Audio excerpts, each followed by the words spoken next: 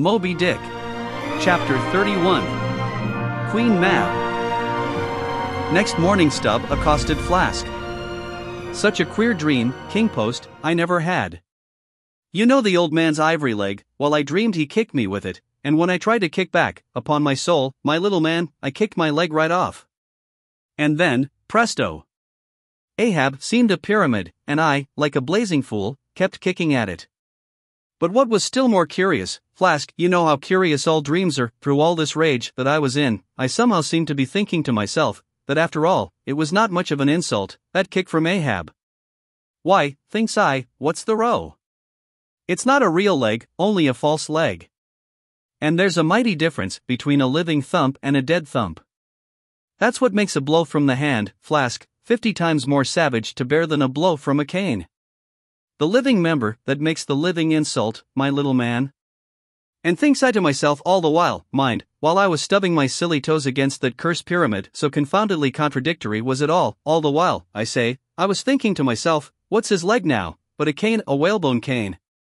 Yes, thinks I, it was only a playful cudgeling, in fact, only a whaleboning that he gave me, not a base kick. Besides, thinks I, look at it once, why, the end of it, the foot part, what a small sort of end it is, whereas, if a broad footed farmer kicked me, there's a devilish broad insult. But this insult is whittled down to a point only. But now comes the greatest joke of the dream Flask. While I was battering away at the pyramid, a sort of badger haired old merman, with a hump on his back, takes me by the shoulders and slews me round. What are you bout? says he. Slid. Man, but I was frightened. Such a fizz. But, somehow, next moment I was over the fright. What am I about? says I at last. And what business is that of yours, I should like to know, Mr. Humpback? Do you want a kick? By the Lord, Flask, I had no sooner said that, than he turned round his stern to me, bent over, and dragging up a lot of seaweed he had for a clout. What do you think? I saw, why thunder alive, man, his stern was stuck full of marlin spikes, with the points out. Says I, on second thoughts, I guess I won't kick you, old fellow. Why, Stubb, said he, why, Stubb, and kept muttering it all the time, a sort of eating of his own gums like a chimney hag. Seeing he wasn't going to stop saying over his why Stubb, why Stubb, I thought I might as well fall to kicking the pyramid again. But I had only just lifted my foot for it, when he roared out, Stop that kicking. Hello, says I, what's the matter now, old fellow? Look ye here, says he, let's argue the insult. Captain Ahab kicked ye, didn't he?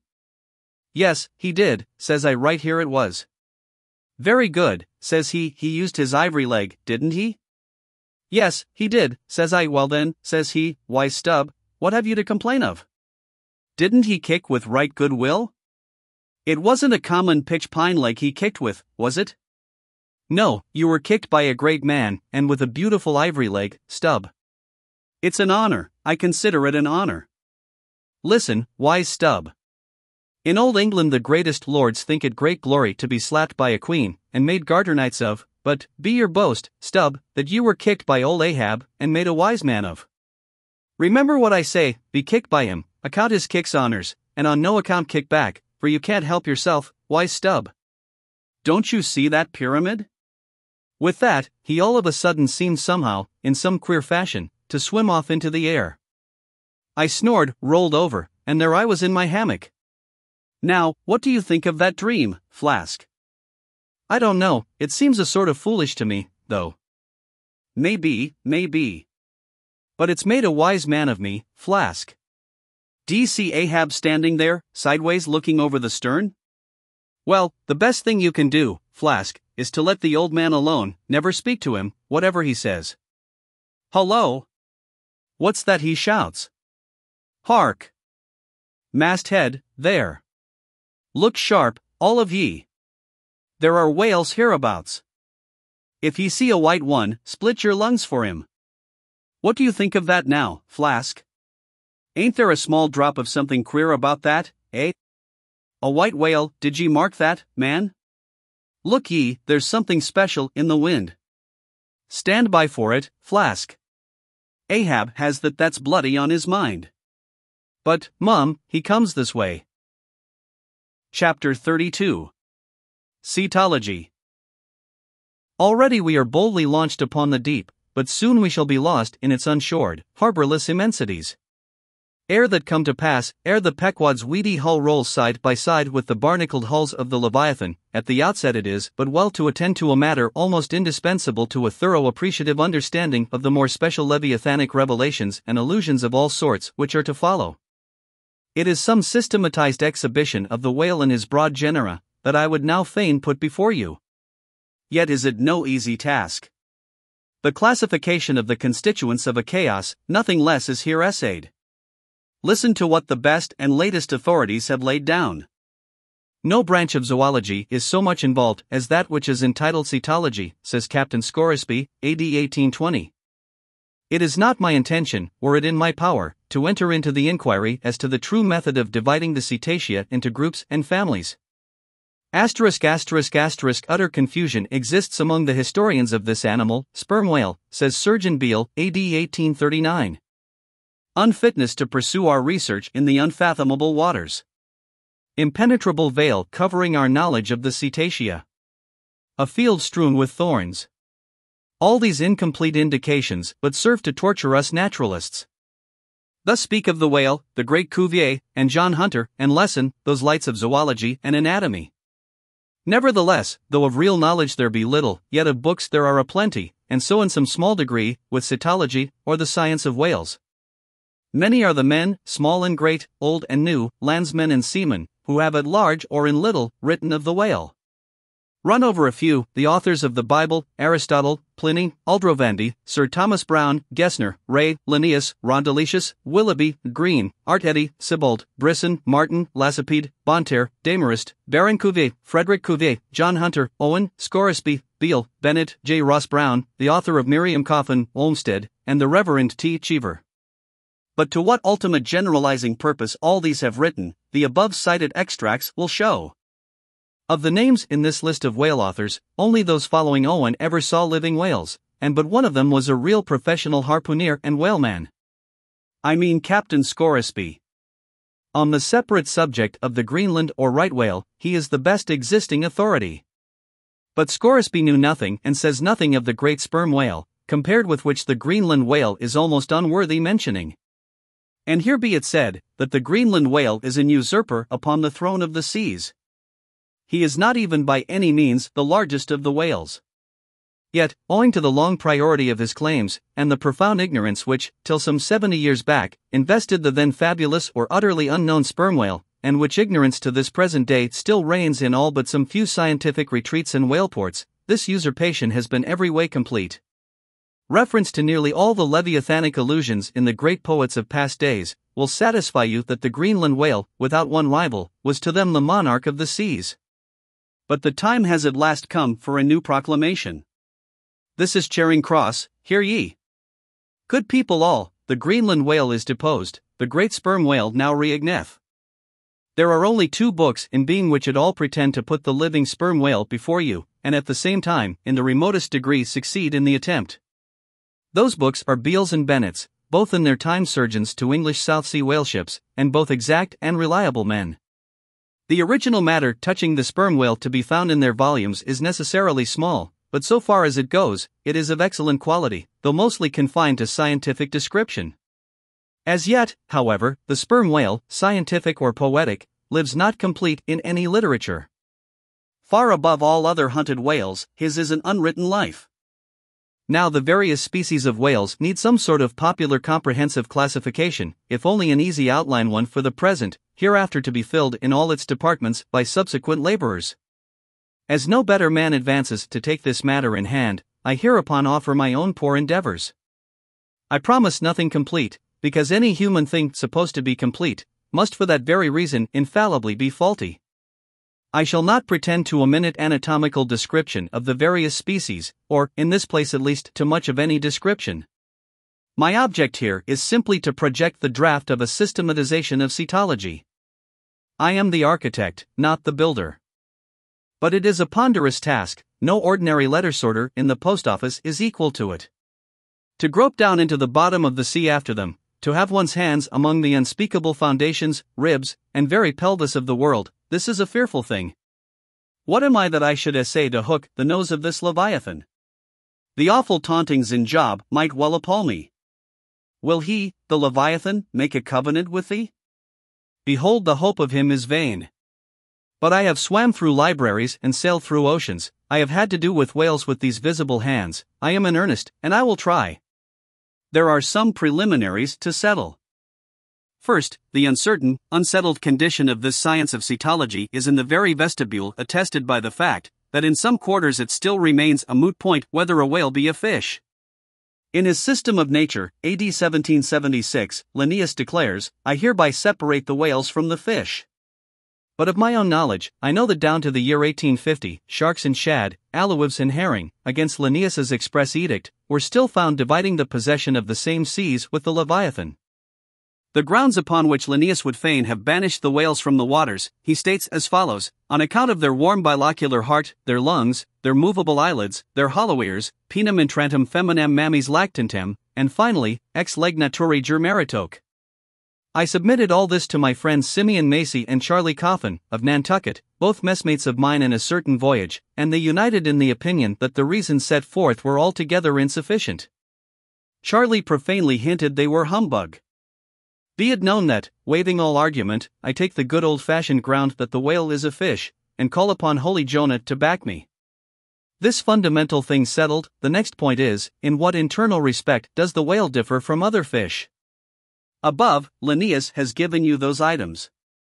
But in brief, they are these lungs and warm blood, whereas all other fish are lungless and cold blooded.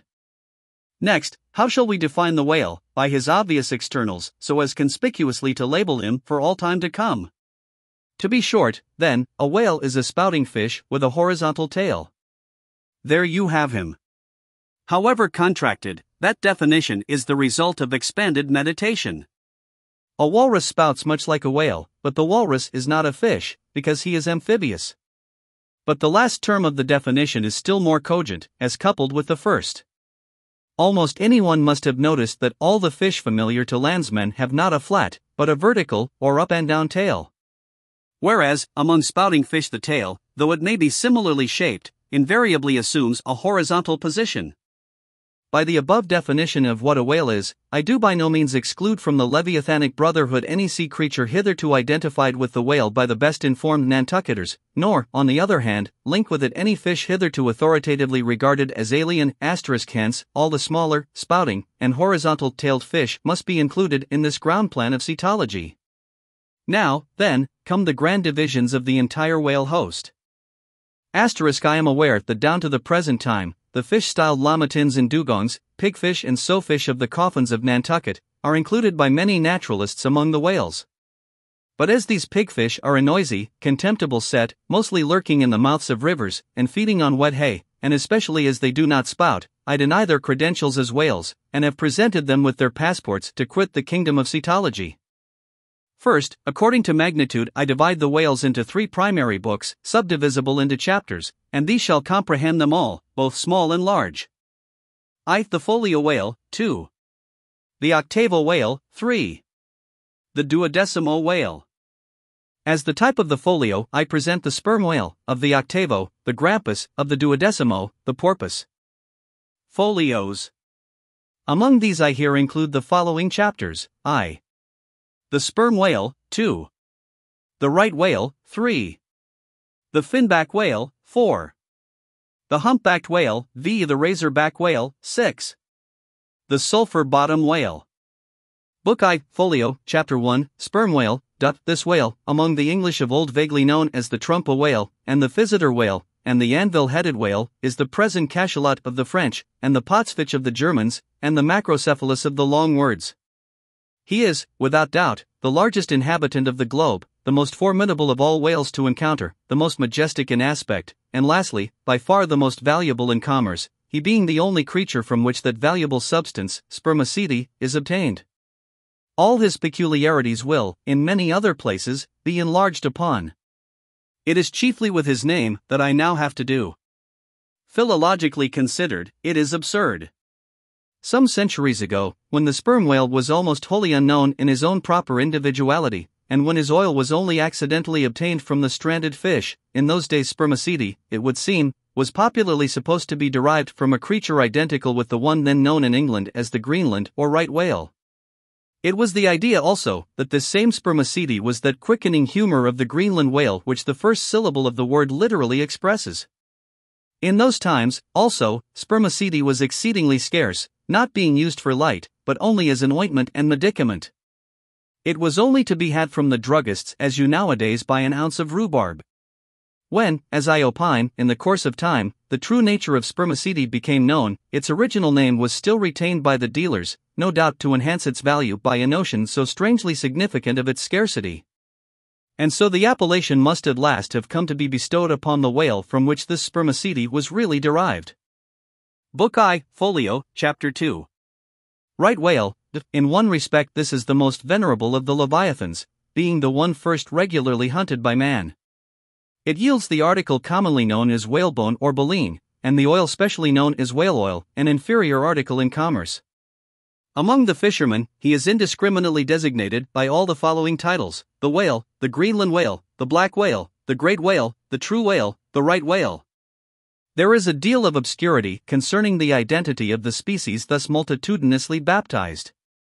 What then is the whale, which I include in the second species of my folios?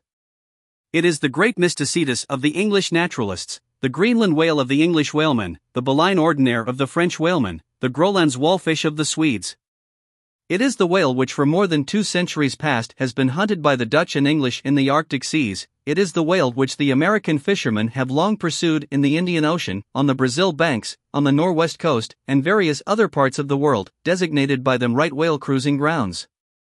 Some pretend to see a difference between the Greenland whale of the English and the right whale of the Americans. But they precisely agree in all their grand features, nor has there yet been presented a single determinate fact upon which to ground a radical distinction. It is by endless subdivisions based upon the most inconclusive differences that some departments of natural history become so repellingly intricate. The right whale will be elsewhere treated of at some length, with reference to elucidating the sperm whale. Book I, Folio, Chapter 3. Finback. Under this head, I reckon a monster which, by the various names of finback, tallspout, and long john, has been seen almost in every sea and is commonly the whale whose distant jet is so often described by passengers crossing the Atlantic in the New York packet tracks. In the length he attains, and in his baleen, the finback resembles the right whale, but is of a less portly girth and a lighter color, approaching to olive.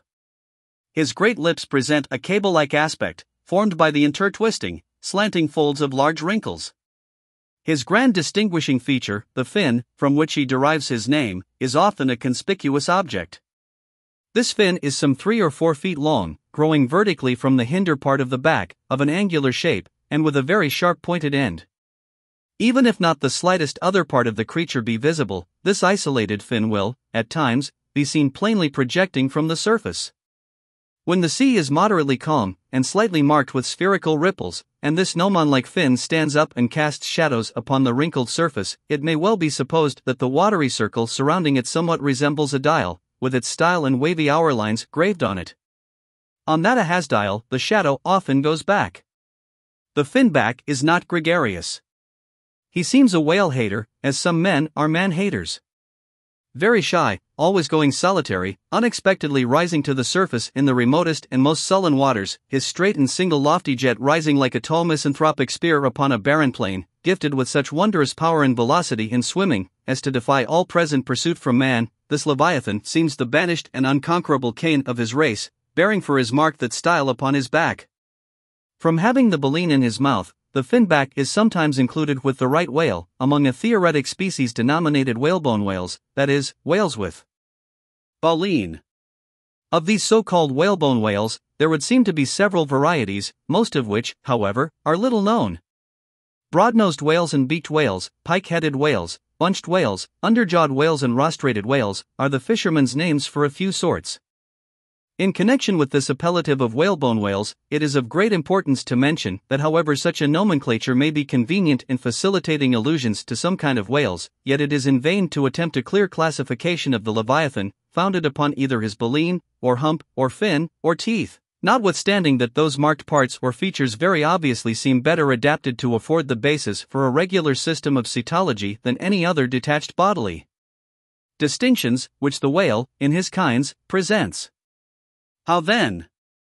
The baleen, hump, backfin, and teeth, these are things whose peculiarities are indiscriminately dispersed among all sorts of whales, without any regard to what may be the nature of their structure in other and more essential particulars.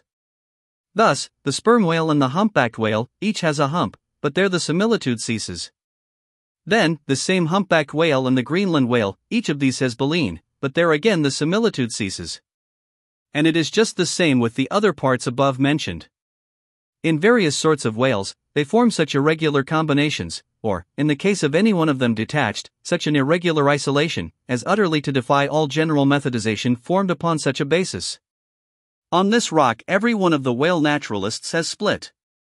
But it may possibly be conceived that, in the internal parts of the whale, in his anatomy, there, at least, we shall be able to hit the right classification.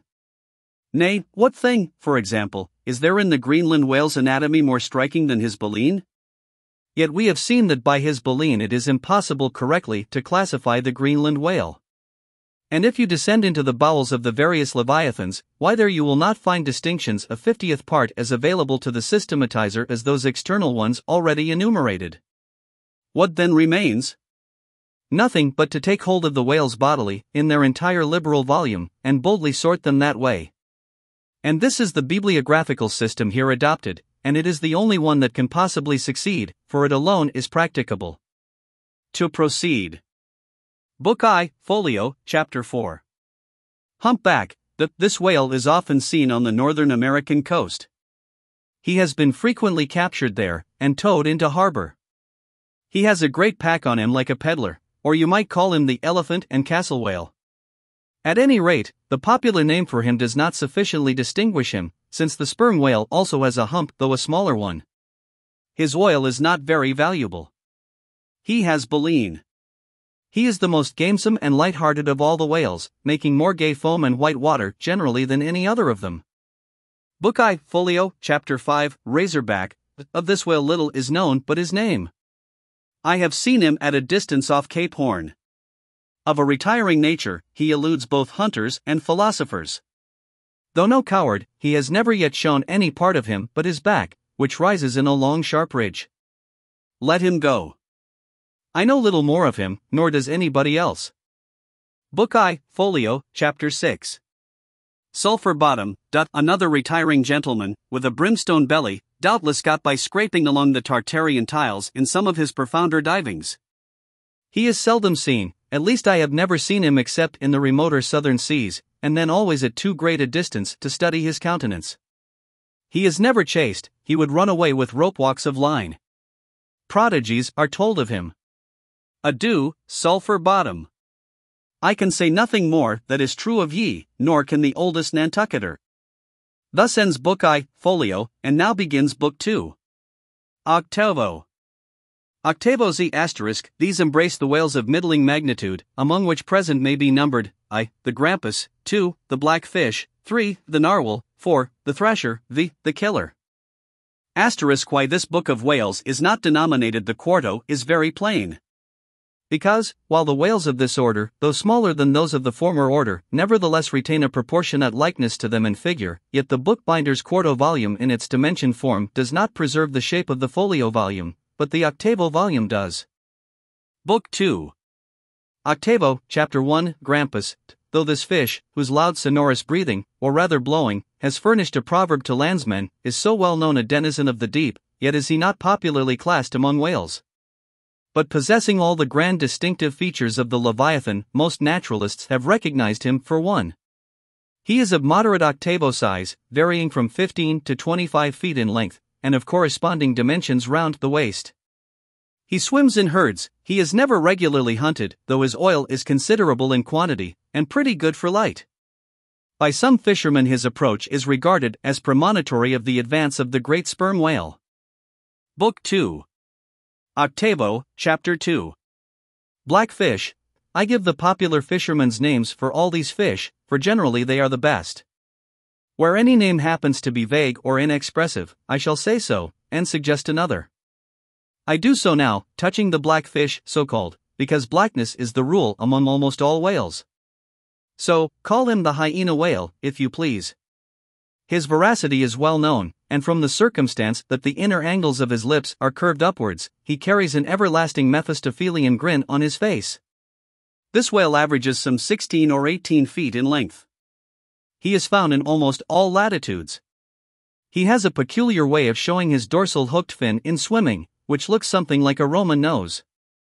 When not more profitably employed, the sperm whale hunters sometimes capture the hyena whale, to keep up the supply of cheap oil for domestic employment, as some frugal housekeepers, in the absence of company, and quite alone by themselves, burn unsavory tallow instead of odorous wax. Though their blubber is very thin, some of these whales will yield you upwards of 30 gallons of oil. Book 2 Octavo, Chapter 3 Narwhal, that is, nostril whale. Another instance of a curiously named whale, so named I suppose from his peculiar horn being originally mistaken for a peaked nose.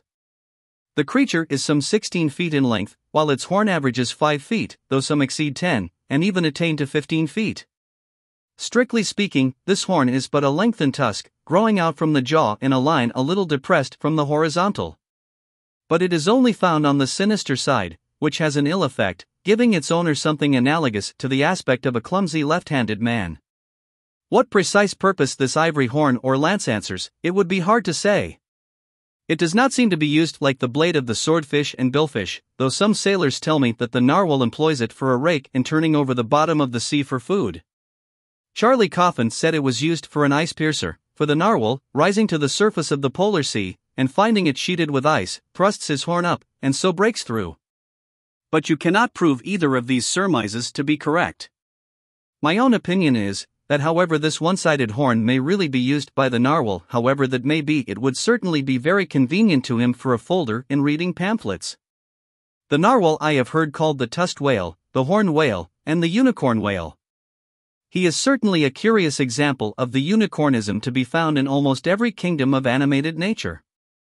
From certain cloistered old authors, I have gathered that this same sea unicorn's horn was in ancient days regarded as the great antidote against poison, and as such, preparations of it brought immense prices. It was also distilled to a volatile salts for fainting ladies, the same way that the horns of the male deer are manufactured into hartshorn. Originally, it was in itself accounted an object of great curiosity. Black letter tells me that Sir Martin Frobisher on his return from that voyage, when Queen Bess did gallantly wave her jeweled hand to him from a window of Greenwich Palace, as his bold ship sailed down the Thames, when Sir Martin returned from that voyage, Seth Black Letter, on bended knees he presented to Her Highness a prodigious long horn of the narwhal, which for a long period after hung in the castle at Windsor. An Irish author avers that the Earl of Leicester, on bended knees, did likewise present to Her Highness another horn, pertaining to a land beast of the unicorn nature. The narwhal has a very picturesque, leopard like look, being of a milk white ground color, dotted with round and oblong spots of black. His oil is very superior, clear and fine, but there is little of it, and he is seldom hunted. He is mostly found in the circumpolar seas.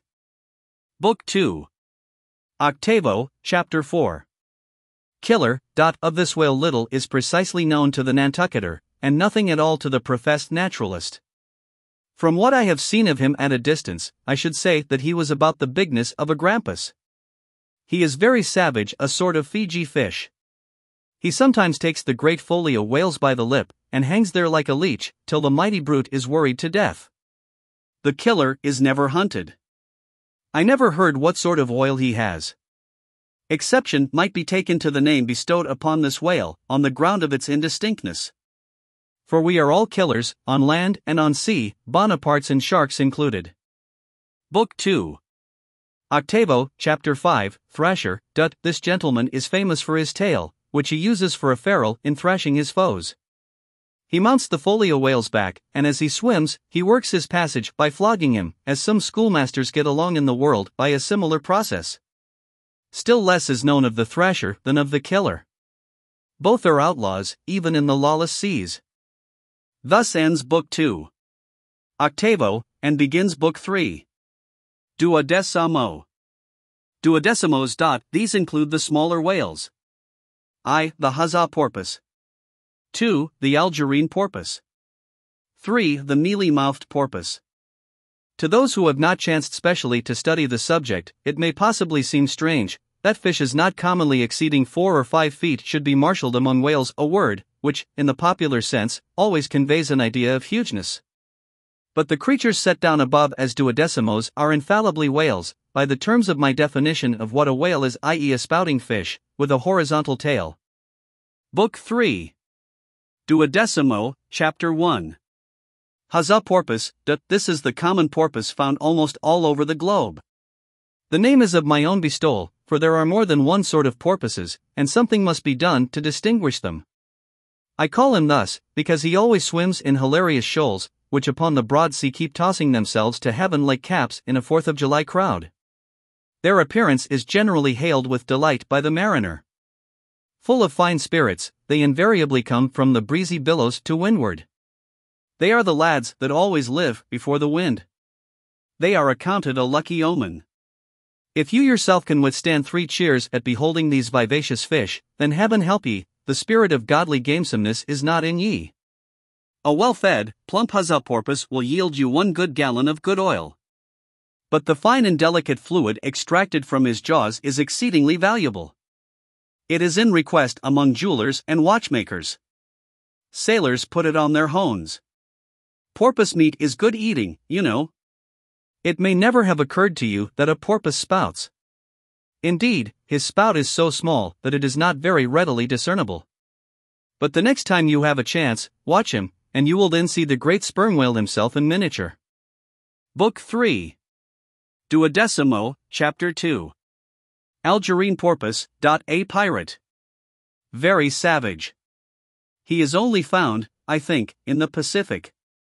He is somewhat larger than the Huzzah porpoise, but much of the same general make. Provoke him, and he will buckle to a shark. I have lowered for him many times, but never yet saw him captured. Book 3 Duodecimo, Chapter 3 Mealy-mouthed porpoise, the, the largest kind of porpoise, and only found in the Pacific, so far as it is known. The only English name, by which he has hitherto been designated, is that of the Fisher's right whale porpoise, from the circumstance that he is chiefly found in the vicinity of that folio.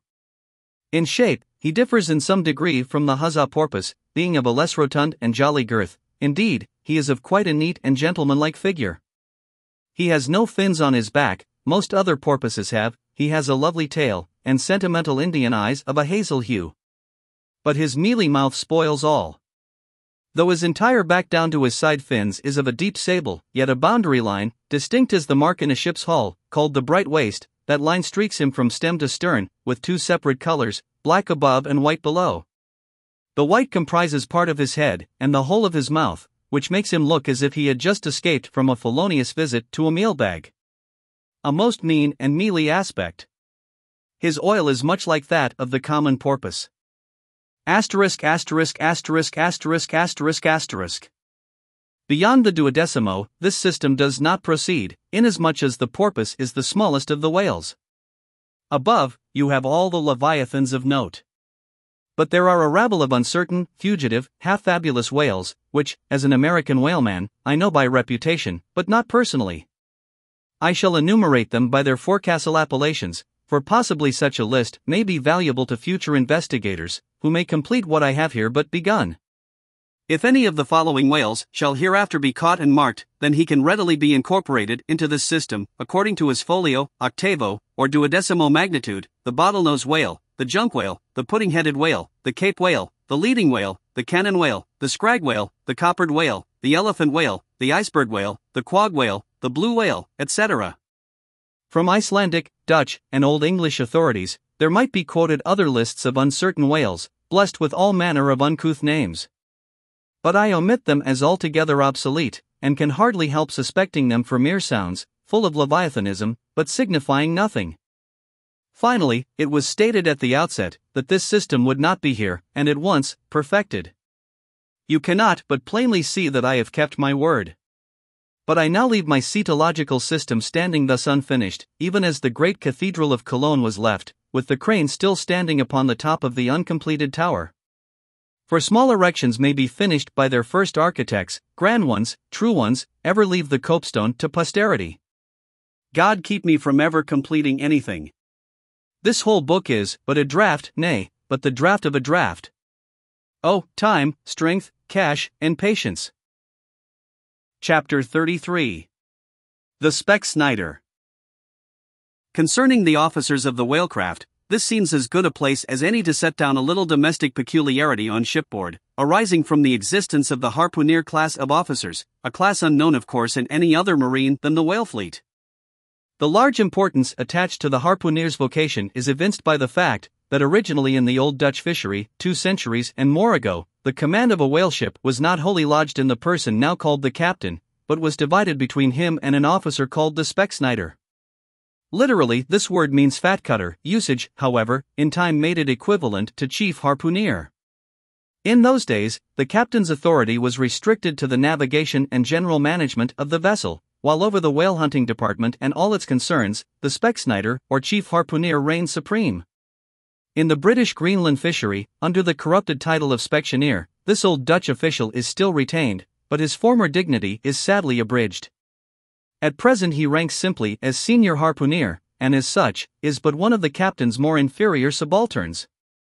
Nevertheless, as upon the good conduct of the harpooneers the success of a whaling voyage largely depends, and since in the American fishery he is not only an important officer in the boat, but under certain circumstances, night watches on a whaling ground, the command of the ship's deck is also his, therefore, the grand political maxim of the sea demands that he should nominally live apart from the men before the mast, and be in some way distinguished as their professional superior, though always, by them, familiarly regarded as their social equal.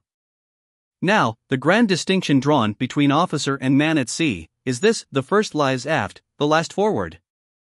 Hence, in whale ships and merchantmen alike, the mates have their quarters with the captain, and so, too, in most of the American whalers, the harpooneers are lodged in the after part of the ship.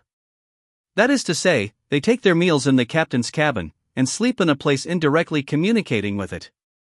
Though the long period of a southern whaling voyage, by far the longest of all voyages now or ever made by man, the peculiar perils of it, and the community of interest prevailing among a company, all of whom, high or low, depend for their profits, not upon fixed wages, but upon their common luck, together with their common vigilance, intrepidity, and hard work. Though all these things do in some cases tend to beget a less rigorous discipline than in merchantmen generally, yet, never mind how.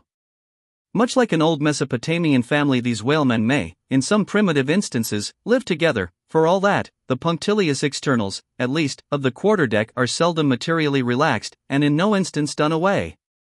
Indeed, many are the Nantucket ships in which you will see the skipper parading his quarterdeck with an elated grandeur not surpassed in any military navy, nay, extorting almost as much outward homage as if he wore the imperial purple, and not the shabbiest of pilot cloth.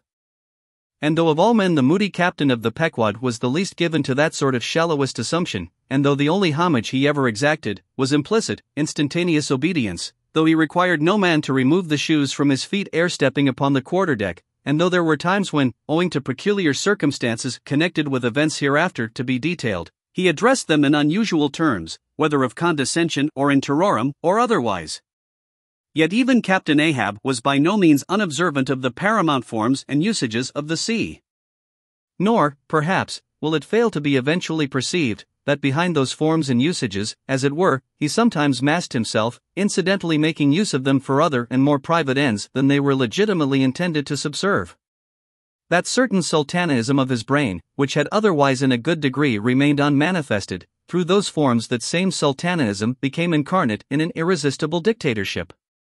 For be a man's intellectual superiority what it will, it can never assume the practical, available supremacy over other men, without the aid of some sort of external arts and entrenchments, always, in themselves, more or less paltry and base. This it is, that forever keeps God's true princes of the empire from the world's hustings, and leaves the highest honors that this air can give, to those men who become famous more through their infinite inferiority to the choice hidden handful of the divine inert, than through their undoubted superiority over the dead level of the mass. Such large virtue lurks in these small things when extreme political superstitions invest them, that in some royal instances, even to idiot imbecility, they have imparted potency. But when, as in the case of Nicholas the Tsar, the ringed crown of geographical empire encircles an imperial brain, then, the plebeian herds crouch abased before the tremendous centralization. Nor will the tragic dramatist who would depict mortal indomitableness in its fullest sweep and direct swing ever forget a hint, incidentally so important in his art, as the one now alluded to.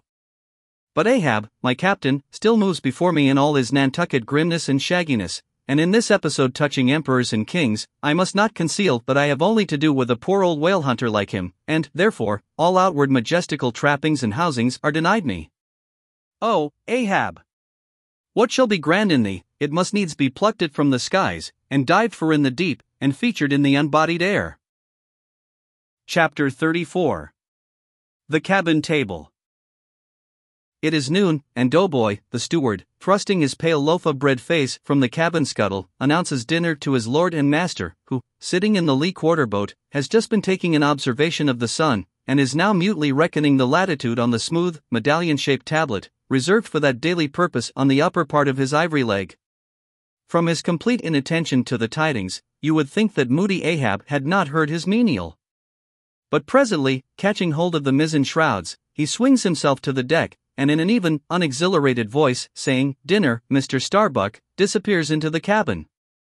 When the last echo of his sultan's step has died away, and Starbuck, the first emir, has every reason to suppose that he is seated, then Starbuck rouses from his quietude, takes a few turns along the planks, and, after a grave peep into the binnacle, says, with some touch of pleasantness, Dinner, Mr. Stubb, and descends the scuttle.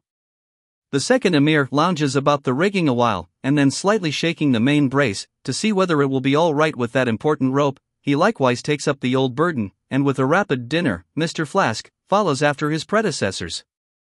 But the third emir, now seeing himself all alone on the quarterdeck, seems to feel relieved from some curious restraint, for, tipping all sorts of knowing winks in all sorts of directions, and kicking off his shoes, he strikes into a sharp but noiseless squall of a hornpipe right over the Grand Turk's head, and then, by a dexterous sleight, pitching his cap up into the mizzentop for a shelf, he goes down rollicking so far at least as he remains visible from the deck, reversing all other processions by bringing up the rear with music.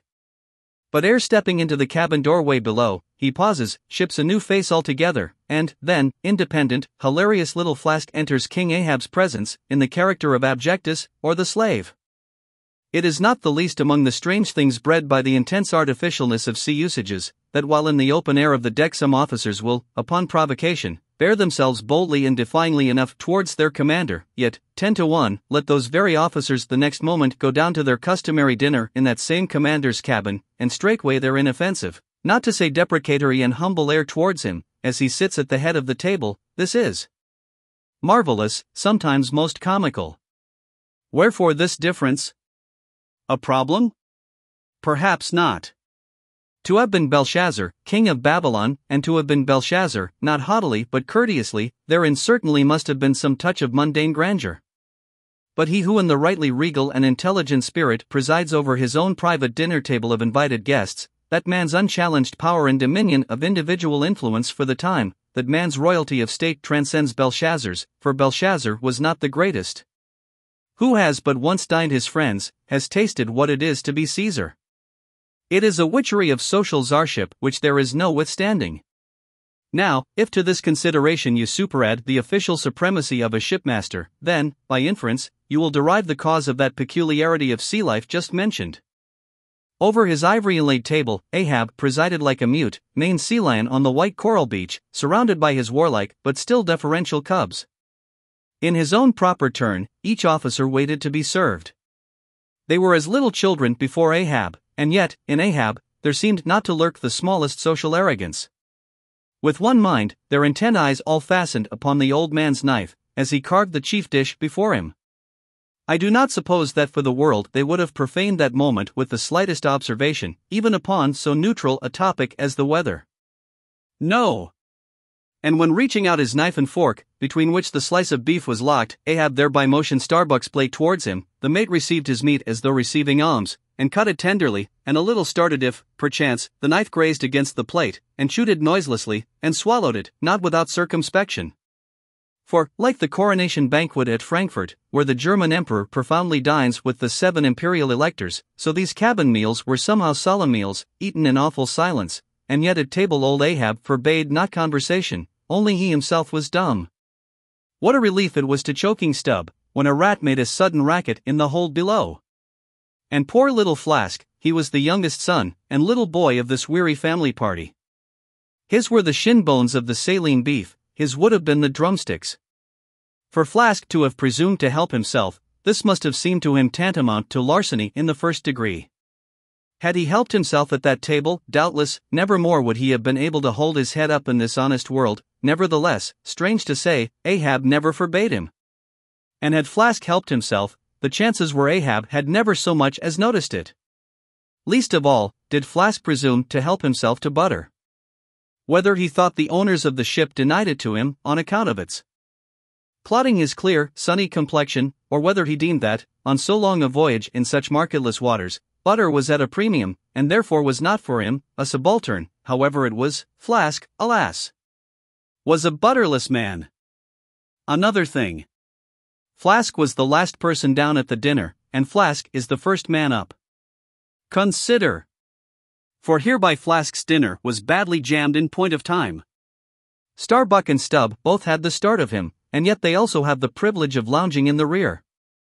If Stubb, even, who is but a peg higher than Flask, happens to have but a small appetite, and soon shows symptoms of concluding his repast, then Flask must bestir himself, he will not get more than three mouthfuls that day, for it is against holy usage for Stubb to precede Flask to the deck. Therefore, it was that Flask once admitted in private that ever since he had arisen to the dignity of an officer, from that moment he had never known what it was to be otherwise than hungry, more or less. For what he ate did not so much relieve his hunger as keep it immortal in him. Peace and satisfaction, thought Flask, have forever departed from my stomach. I am an officer, but how I wish I could fish a bit of old fashioned beef in the forecastle, as I used to when I was before the mast. There's the fruits of promotion now, there's the vanity of glory, there's the insanity of life. Besides, if it were so that any mere sailor of the Pequod had a grudge against Flask in Flask's official capacity, all that sailor had to do, in order to obtain ample vengeance, was to go aft at dinner time and get a peep at Flask through the cabin skylight, sitting silly and dumbfoundered before awful Ahab. Now, Ahab and his three mates formed what may be called the first table in the Pequod's cabin. After their departure, taking place in inverted order to their arrival, the canvas cloth was cleared, or rather was restored to some hurried order by the pallet steward. And then the three harpooneers were bidden to the feast, they being its residuary legatees. They made a sort of temporary servants' hall of the high and mighty cabin. In strange contrast to the hardly tolerable constraint and nameless invisible domineerings of the captain's table, was the entire carefree license and ease, the almost frantic democracy of those inferior fellows, the harpooneers. While their masters, the mates, seemed afraid of the sound of the hinges of their own jaws, the harpooneers chewed their food with such a relish that there was a report to it. They dined like lords, they filled their bellies like Indian ships all day loading with spices. Such portentous appetites had Queequeg and Tashtego, that to fill out the vacancies made by the previous repast, often the pale doughboy was fain to bring on a great baron of salt junk, seemingly quarried out of the solid ox. And if he were not lively about it, if he did not go with a nimble hop skip and jump, then Tashtego had an ungentlemanly way of accelerating him by darting a fork at his back, harpoon-wise.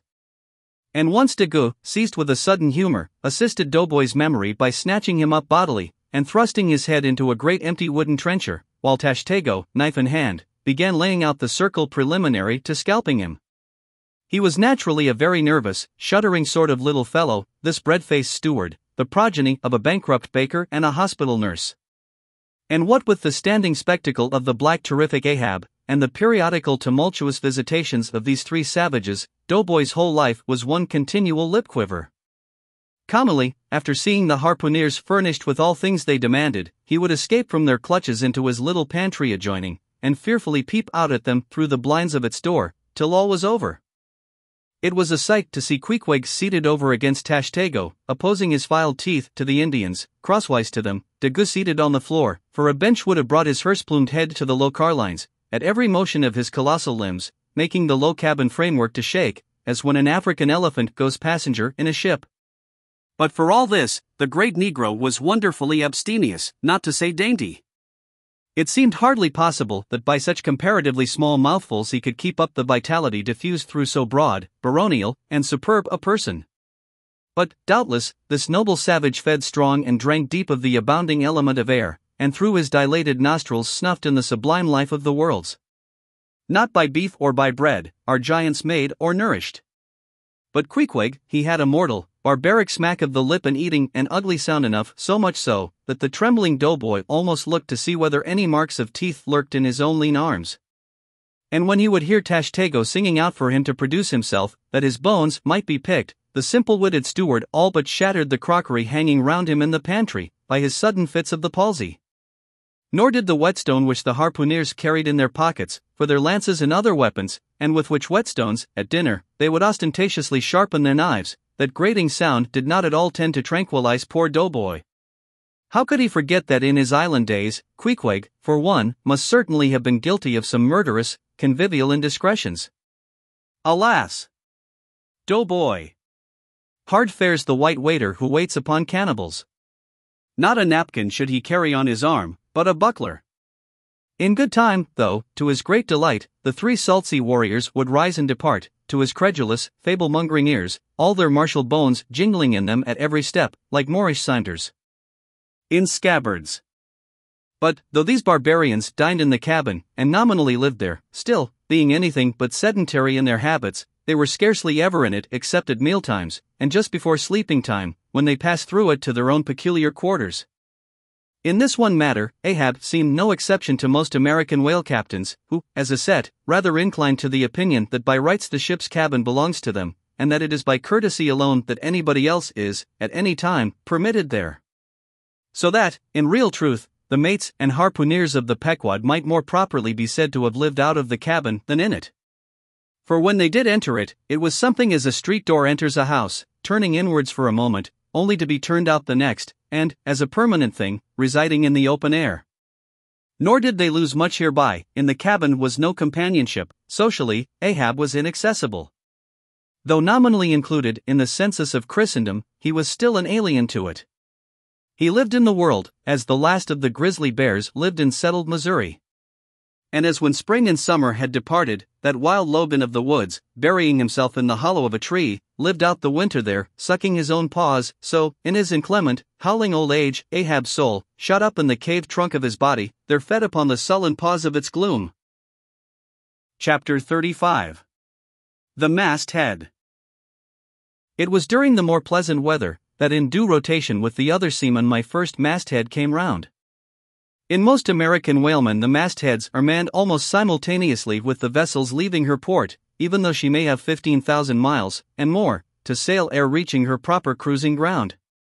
And if, after a three, four, or five years' voyage, she is drawing nigh home with anything empty in her, say, an empty vial, even then, her mastheads are kept manned to the last, and not till her skysail poles sail in among the spires of the port, does she altogether relinquish the hope of capturing one whale more.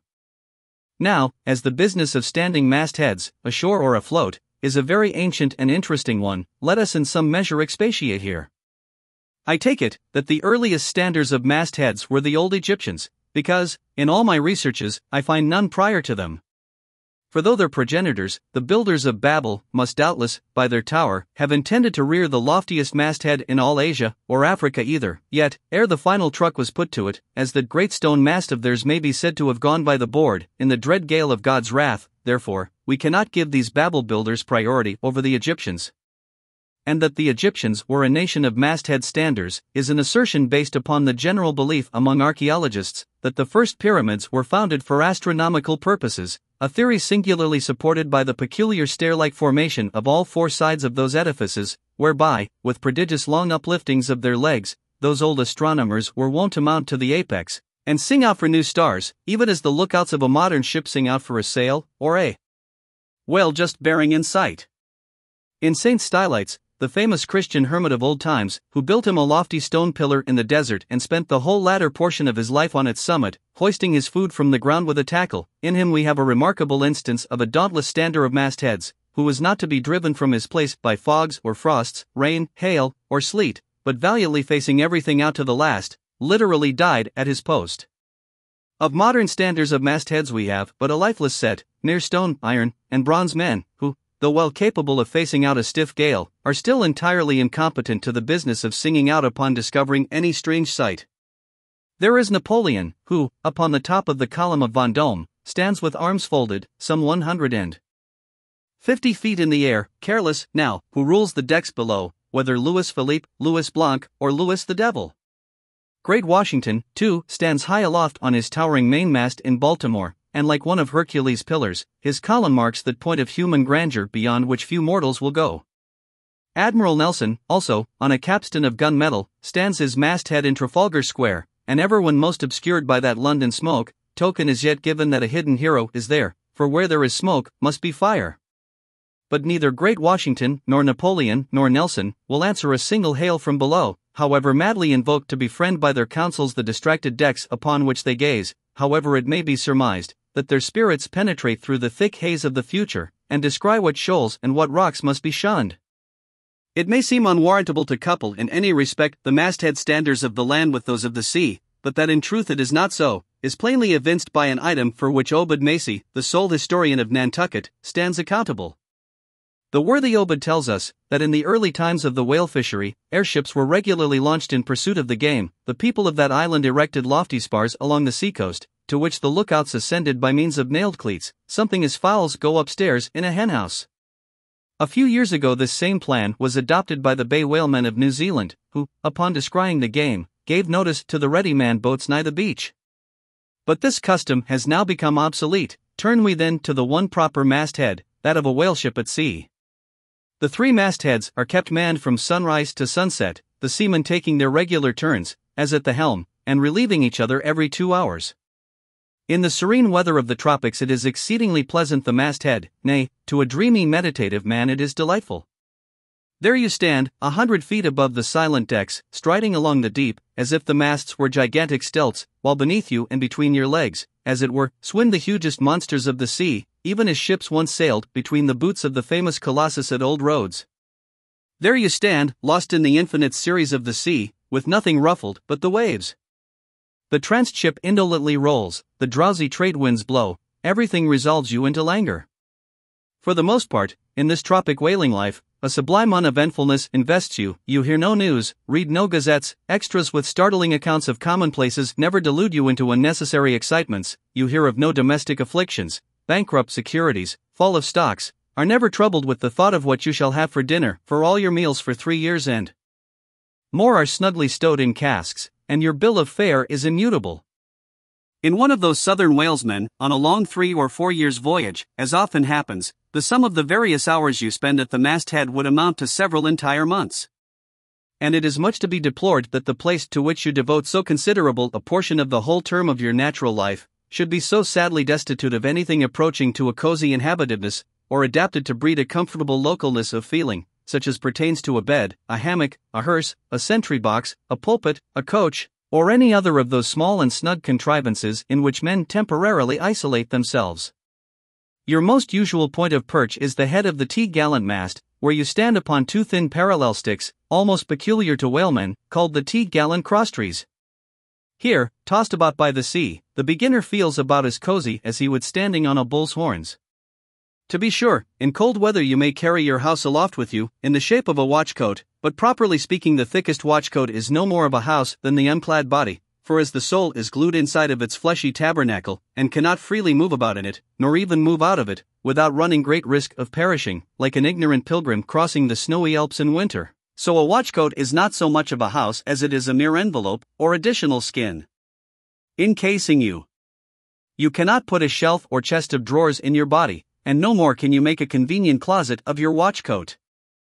Concerning all this, it is much to be deplored that the mastheads of a southern whale ship are unprovided with those enviable little tents or pulpits, called crow's nests, in which the lookouts of a Greenland whaler are protected from the inclement weather of the frozen seas. In the fireside narrative of Captain Sleet, entitled A Voyage Among the Icebergs, in quest of the Greenland whale, and incidentally for the rediscovery of the lost Icelandic colonies of Old Greenland, in this admirable volume, all standers of mastheads are furnished with a charmingly circumstantial account of the then recently invented crow's nest of the glacier, which was the name of Captain Sleet's good craft. He called it the Sleet's crow's nest, in honor of himself, he being the original inventor and patentee, and free from all ridiculous false delicacy, and holding that if we call our own children after our own names, we fathers being the original inventors and patentees, so likewise should we denominate after ourselves any other apparatus we may beget. In shape, the Sleet's crow's nest is something like a large tierce or pipe. It is open above, however, where it is furnished with a movable side screen to keep to windward of your head in a hard gale. Being fixed on the summit of the mast, you ascend into it through a little trap hatch in the bottom. On the after side, or side next the stern of the ship, is a comfortable seat, with a locker underneath for umbrellas, comforters, and coats. In front is a leather rack, in which to keep your speaking trumpet, pipe, telescope, and other nautical conveniences. When Captain Sleet in person stood his masthead in this crow's nest of his, he tells us that he always had a rifle with him, also fixed in the rack, together with a powder flask and shot, for the purpose of popping off the stray narwhals or vagrant sea unicorns infesting those waters, for you cannot successfully shoot at them from the deck owing to the resistance of the water. But to shoot down upon them is a very different thing. Now, it was plainly a labor of love for Captain Sleet to describe, as he does, all the little detailed conveniences of his crow's nest, but though he so enlarges upon many of these, and though he treats us to a very scientific account of his experiments in this crow's nest, with a small compass he kept there for the purpose of counteracting the errors resulting from what is called the local attraction of all binnacle magnets, an error ascribable to the horizontal vicinity of the iron in the ship's planks, and in the glacier's case, perhaps, to there having been so many broken down blacksmiths among her crew, I say, that though the captain is very discreet and scientific here, yet, for all his learned binnacle deviations, azimuth compass observations, and approximate errors, he knows very well, Captain Sleet, that he was not so much immersed in those profound magnetic meditations, as to fail being attracted occasionally towards that well replenished little case bottle, so nicely tucked in on one side of his crow's nest, within easy reach of his hand.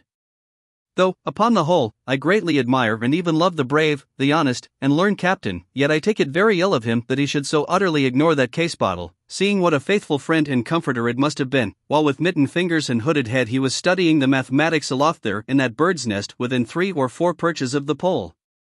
But if we southern whale fishers are not so snugly housed aloft as Captain Sleet and his Greenland men were, yet that disadvantage is greatly counterbalanced by the widely contrasting serenity of those seductive seas in which we south fishers mostly float.